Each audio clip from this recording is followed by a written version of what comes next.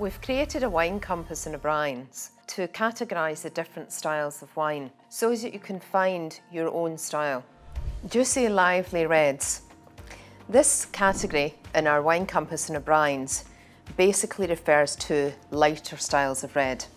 Red wines with moderate alcohol and in terms of fruit and flavour profile we're thinking about crunchy bright fruit with touches of acidity there. So if we look at aroma and flavour separately, obviously aroma and flavour are not added to wines. These are just the aromas and the flavour sensations that you get from the grapes when you taste the wine.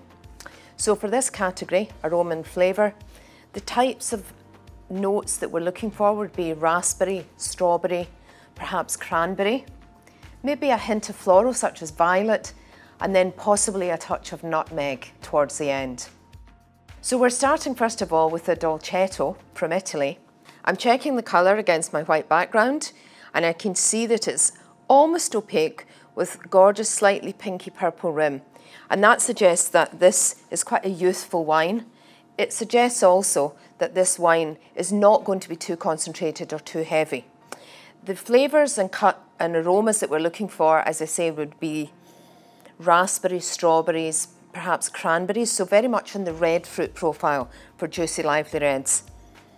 Crunchy red fruits, and then structurally, we'd be looking for, yes, moderate alcohol and tannin. Tannin, that coating sensation that you get on the gums and on the teeth, as if you've left a tea bag in a teacup for too long, then that sensation with this range of wines in the juicy lively red category shouldn't be too powerful. The tannin should be quite integrated and not so obvious. So this dolcetto, we've definitely got raspberries and strawberries, very summery red fruits here.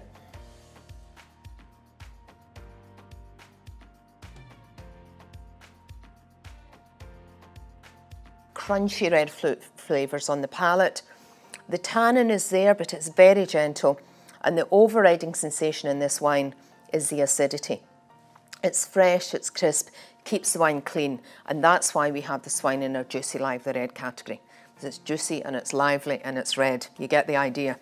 Number two then is a Fleurie, and this is from Beaujolais in France. So a real classic style of a lighter red wine.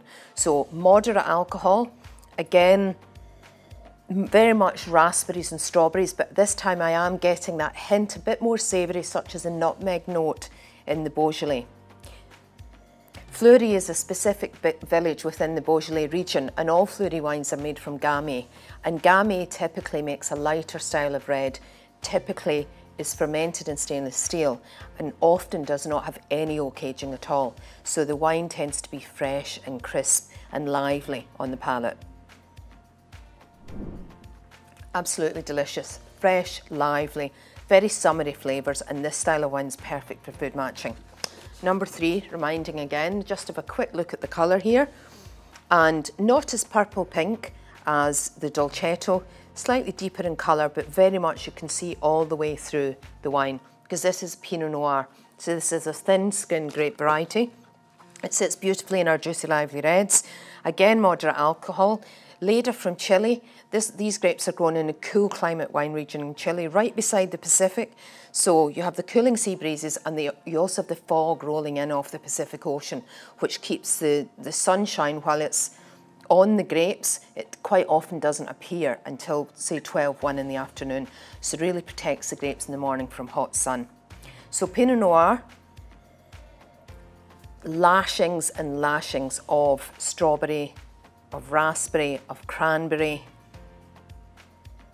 concentrated, really, really fruit forward style here and uh, quite aromatic as well in terms of floral aromas. So you definitely get the violets coming through in this Pinot Noir. It's crunchy, it's crisp, some slightly mouth-watering acidity on the edges of the tongue, keeping everything fresh and clean. And that sums up our juicy, lively reds.